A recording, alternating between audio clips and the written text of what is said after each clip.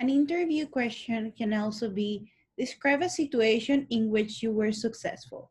The reason why they ask these questions is because the interviewer is proving both your definition of success and how you systematically achieve that success. This means like what steps you took for that. Um, a possible answer it can be that you can describe a work related example with measurable deliverables with you with which you achieve either individually or as a part of the team. For example, an example would be the new productivity system we recently developed and installed for use by our team.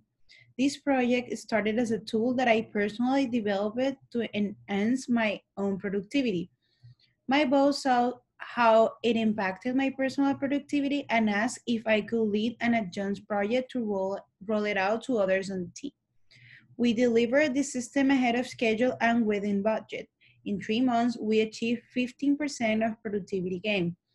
Why this is a good example? Because it's, it's describing a situation where this person lead and also is describing like a, an outcome from that situation, which means it was successful. Two tips I can give to you. First is show progress. So whenever you are trying to define um, a successful situation, describe how you uh, went from point A to point B, and try to use metrics if you can.